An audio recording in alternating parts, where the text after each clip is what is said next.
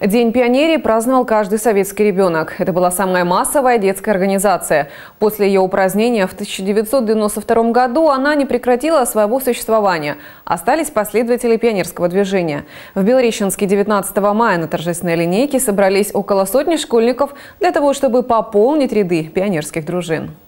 Красные галстуки, девизы, сбор макулатуры, пионерские костры. Когда-то все это было непременной частью жизни советских школьников. Нынешние девчонки и мальчишки готовы следовать традициям своих бабушек и дедушек. В ваших руках мощь и слава государства, которую, я уверен, вы будете превозносить и нести с честью гордое имя пионера. Я желаю вам удачи на этом пути.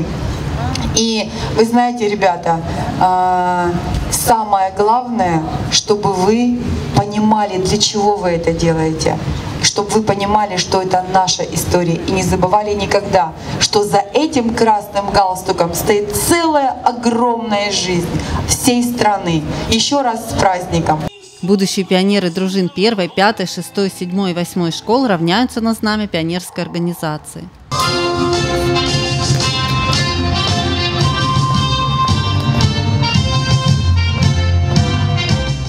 Юные пионеры не изменяли своим идеалам даже перед лицом смерти. Многие из них погибли в годы Великой Отечественной войны. Юный партизан Николай Шульга не выдал товарищ. Погиб смертью храбрый. Столица Кисляковская, Кущевский район. Пионерская клятва уже не та, что была в советские времена, но ее суть осталась та же.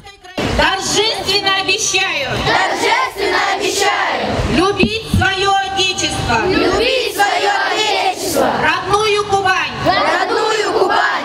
Право повязать ребятам красные галстуки получили почетные гости, старшие пионер-вожатые. По традиции юные пионеры возложили цветы к памятнику Ленина. Ребята только что вступили в ряды пионерской организации и, может, не до конца осознают, как это изменит их жизнь, но они хорошо знают, как должен поступать настоящий пионер. Хорошо учиться, помогать всем людям,